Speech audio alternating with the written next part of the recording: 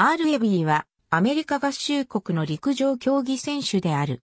彼は1920年に開催されたアントワープオリンピックに参加して800メートル競争で銀メダルを獲得した。R. エビーは第一次世界大戦時にフランスで陸軍の少尉として従軍していた。従軍中の1919年に彼はパリで開催された400メートル走の試合に勝ち、800メートル走では2位に入っている。戦争が終わった後、エビーはペンシルベニア州立大学に復学し、アマチュア運動連合の600ヤード室内選手権で、1920年と1923年に勝利した。アントワープオリンピックで彼は800メートル走に出場した。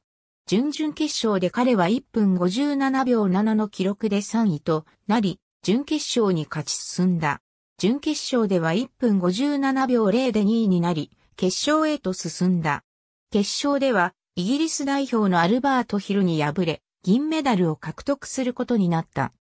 オリンピックの後のエビーは、1920年に IC4A 主催の880ヤード競争で優勝し、1921年には IC4A と NCWA の両方の880ヤード競争で優勝している。後にエビーはアメリカで最も偉大な陸上競技専門の記者の一人に数えられる存在になったという。548.64メートル。804.6720メートル。ありがとうございます。